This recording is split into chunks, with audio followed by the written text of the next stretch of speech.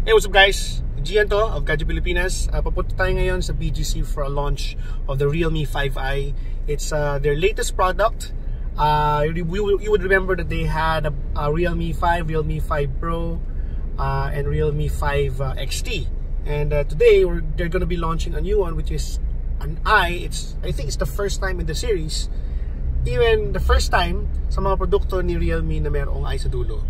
And uh, I for one am very excited to see that out. And let's go to BGC.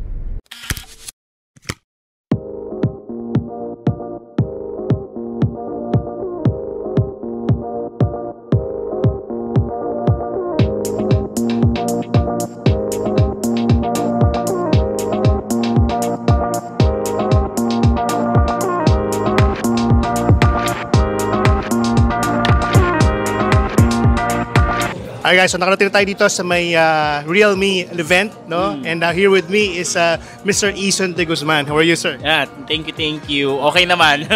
Walang tulog. Pero- Walang tulag, no? Pero syempre, as usual, as is you're one of the guys who are actually uh, in this event and you're one of the main guys explain who explained about Realme 5i. Congratulations. Now, just to give us a quick overview of what this is, Ison, ano ba yung maganda para sa iyo sa Realme 5i? So, ang maganda sa kanya is well off balance yung ano niya, yung price point for 6,990. Nakakagulat may Snapdragon 665 processor ka na, 5,000 mAh battery, 6, 6.5 inch displays, tapos uh, quad camera pa. So, we're kind of disrupting that price segment right now. 6,990 kasi is one of the highest selling price points in the Philippines. Okay, na napansin ko kanina, Ison, and you said it's only 6,990 pesos. You get here 5,000 milliampere and Snapdragon 665 AIE. You know, it's it's with its uh, lethal combination of good specifications. You're you know you're only paying 6,990 uh, pesos Yes. for it. Pero that's only Oo. the more on the internal. Oo nga eh. External wise, we also made it more consideration na polished back cover. Hindi na siya yung Right. parang ano, uh, glossy back cover. So, anti-fingerprint. So, meron kasing glowing glowing clamor right now. Oh, sorry, glowing clamor towards na ayun nila ng fingerprint. So, we're trying to approach that one na meet in the middle. Kumikinang pero at the same time, walang fingerprint. But then again, you said no, isa nga yun sa mga uh, glaring factors is Yes. that the price is really something that sits in between not actually mid-range anymore. eh. It's already in the budget It's ac- segment. Yes, it's actually So- mid-range performance but slightly entry level Right, segment. right, right. And congratulations for this, no? So nakita naman natin, no, uh, ito yung Realme 5i. Hmm. Uh, again, we've seen a lot of the series. We've seen uh, Realme 5, Realme 5 XT. Yes. And also we've seen Realme, uh, uh, all of these things. Hmm. And with the Realme 5i, it gives us uh, a complete set, no? Yes. Of, We're now uh, hitting every price point. every price point. 990, 6990, 7990, 8990, 9990. So thank you, Ison. Ha? So nakita naman natin, guys. Maraming salamat, Ison, for giving Thank us you, your thank time. And again, with this event, congratulations Thank with the you. launch of the Realme 5i. Ayan, so ito nga tayo ngayon. Naglalakad tayo ngayon dito. At nakita natin si Jam Ancheta. Mr. Ancheta, kamusta? Kamusta? Right, ako, eh, ah, hello, hello, kamusta ka? Pogi mo pa din, gwapo mo, I love you. Yeah. Uh, bigyan mo ako ng masasabi mo about the Realme 5i. Ano, ah, yun, nilunch kanina. oh, hindi ako nakikinig. De, joke lang. So, the Realme 5i for me, uh, sa akin okay siya eh. I mean, you got a uh, quad camera lens. Yes, downgraded yung camera niya from the Realme 5. I still think na okay pa rin yung qualities na kukuha ko di- quality ng mga photos na kukuha ko dito. I mean, we still got a Snapdragon 665 processor. Yung 3 gigs of RAM naman is still okay for me when it comes to gaming, multitasking, and everything. And then, yung uh, quad camera lens is okay na okay pa din naman. So, so far, wala akong problema with the camera segment. There's a long battery life in this one kasi nung benchmark ko siya, okay pa rin naman yung nakuha kong results. And again, malaki yung display. Uh, better for gaming, better for watching uh, videos and mga ganun stuff. So, kompleto, no? And also, one of these features, 4K video recording at 30 frames per second. What do you say about this?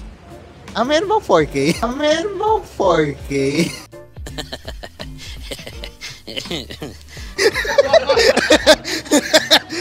Nagulat ka ba doon? Nagulat ako doon. So, 4K for 7,000, right? 6,000 eh. Sulit. Shocking, di ba? Alright. Shocking.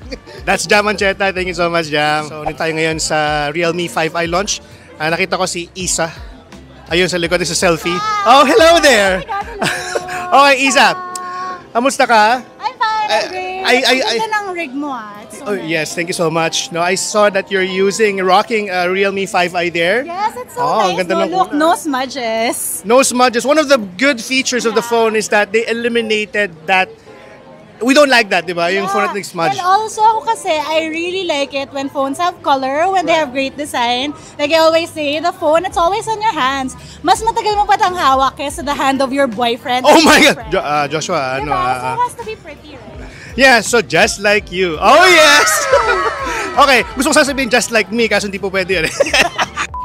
well, anyway, oh yeah, so I, I- well, thank you so much for that. Now, if there's one thing apart from the smudges that you like about the Realme 5i, hmm. what would it be? Well, Realme is known for phones that have great value for money. Right. So this is another one of these phones. It's a great overall package for that price point. And again, look at that.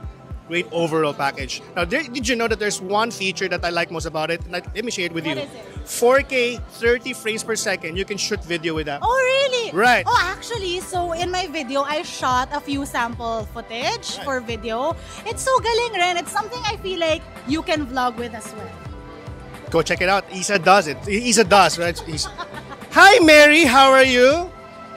I'm fine, thank you. Kilala niyo naman si Mary, di ba? Si Mary, kilala kilala to. Sobrang sikat na niya. Parang hindi ko alam makakadikit ako sa kanya eh. But anyway, Mary, if there's one thing that you like about Realme 5i na nilaunch lang niya nila kanina, what would it be? That will be the back design. Kasi Wow. sobrang unique niya and for a budget phone na makakita ka ng ganitong design and may pa sun rays effect siya eh. Parang nabubuhayan ako, nabibigyan ako ng pag-asa. Ganon. But they have uh, the blue one and this one the green one, di ba? Ang ganda ng kulay ng forest green. Forest Oh. green. Pero mas gusto ko yung blue. Kasi Oh, mas oh, yeah, masarap yeah. siya sa mata kasi parang tubig, ganon. Ganon yung pakiramdam ko. Yeah. Ang ganda. I mean, a lot of people have seen na sobrang ganda ng ano, mga kulay ng bagong Realme 5i. It's very lifestyleish, if I may Yes, say. Very millennial. Very millennial. Uh, I think malapit ako mawala sa millennial na age eh. Pero... But anyway, thank you so much, Mary, for your time. At uh, katabi ko ngayon dito ang aking uh, brother from another mother. We have uh, Jamie and Ocean. How are you, sir? I'm okay, bro. Brother, if there's one thing that you like about the Realme 5i, what would it be? Yung value for money na makuha mo sa phone na to. Kasi yun nga, uh, you're getting a slight downgrade yung sa selfie camera. Pero parang everything else that you're getting, yung processor, yung battery, especially yung battery, 5,000 milliamp hours, and the quad, sabi ko ba yung quad camera? Mm-hmm. Yeah, yeah, No, yeah. sabi ko, basta yun. At saka malaki siya. We want it big, right? Mm. Big, bigger is better. Bigger is better. That's that's true. That's true. That's true. No? Pero yun nga, yung value for money na makuha mo sa phone na to, especially like if you if you like gaming, sobrang sulit siya for me. Seven, ah, 6,990. So, 6990 Solid. for Realme 5i. You get big display, you got big battery, everything's big here. At syempre, you can also big shoot big big videos, Big videos, 4K, six- uh, 30 FPS. No, very nice package. Very nice package. Let's just say bi- big. I that, like, the, I like the innuendos where we're going here. But but you know, we Hindi naman, understand. made, hindi naman made for kids yung video na to, diba? Yes, it's not made for kids. Uh, it's properly tagged. Thank you so much, Jamie. Jamie from Unbox right here. So, so far we talked about uh, Realme 5i uh, with a lot of people, uh, with Ison de Guzman, uh, Realme, uh, Realme uh, product marketing lead. And we also have uh, Isa. Also, we have Jamie and also Mary Bautista, Jam Mancheta. We asked them about their thoughts about the Realme 5i. Wow! Sobrang sulit. At I think it's gonna be one of the best-selling smartphones by Realme. And let's go check it out and let's go see if it's really gonna happen. So I guess that's about it, guys. It's been Gian of Gadget Pilipinas. It's been our quick coverage of Realme 5i.